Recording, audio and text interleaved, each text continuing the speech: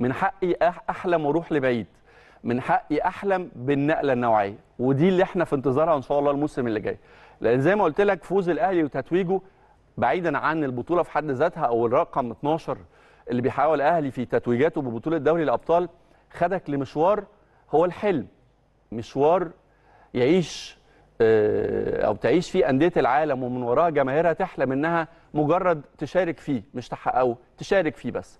أنت على بعد موسم من المشاركة في كأس الإنتركونتيننتال ودي البطولة الجديدة اللي تم استحداثها من قبل الفيفا واللي هتكون آه، بديل لكأس العالم اللي شفناه في السنوات الأخيرة واللي الأهلي حقق فيه أربع آه، ميداليات برونزية. وهكلمكم عن نظام البطولة اللي تحدد ثلاثة من أطرافها. وهتشارك كمان في كأس العالم للأندية. بكلمكم على بطولات الموسم المقبل أو عن تحديات الموسم المقبل أو عن أحلام وطموحات جماهير النادي الأهلي في الموسم المقبل. عندك واحد طبعا السوبر التاريخي اللي هيجمع بين الأهلي بطل دوري الأبطال والزمالك بطل الكونفدرالية. عندك مشاركة مضمونة بصرف النظر عن نتائج الدوري أو الترتيب أو تحقيق لقب بطولة الدوري المحلي من عدمه. أنت موجود كده كده في نسخة دوري الأبطال افريقيا القادمة ودي اللائحة الجديدة طبعا للاتحاد الأفريقي. كأس الانتركونتيننتال الكأس اللي هتجمع أبطال مفيش خلاص بلد بلد مضيف مفيش ممثل للبلد المضيف. كانت البطولة بتبقى بطولة مجمعة بتستضيفها دولة معينة فبالتالي كان بيمثل الدولة دي فريق صاحب ال- الأرض يعني والجمهور. النظام الجديد للانتركونتيننتال مختلف شوية والبطولة أصبحت مش بطولة مجمعة.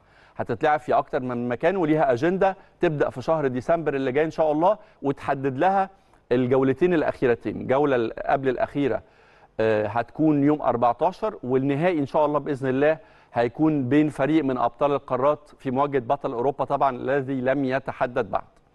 وعندك بطولة كأس العالم للأندية اللي هتبقى كأس عالم آه، شبيه بكأس العالم للمنتخبات. كأس عالم مكبر هيشارك فيه أكبر وأهم الأندية على مستوى العالم ومن ضمنها طبعا الأهلي المصري بصفته البطل الأكبر البطل الأعظم لقارة إفريقيا. فعن الموسم الجاي أنت بتتكلم بإذن الله وهكذا نتمناها وهكذا ننتظرها يعني نقلة نوعية في مشوار النادي الأهلي على مدار 117 سنة تاريخ. كله نجاحات كله بطولات كله إنجازات.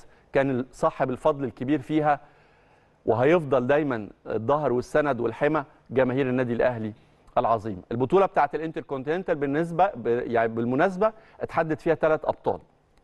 هيشارك فيها آه، بطل أوكيانوسيا بطل آه، آه، أوكلاند سيتي وهيشارك فيها بطل آسيا اللي اتحدد خلاص وبقى فريق العين الإماراتي وبطل إفريقيا المتوج امبارح بالبطولة رقم 12 النادي الأهلي المصري. يتبقى ثلاث أطراف آخرين.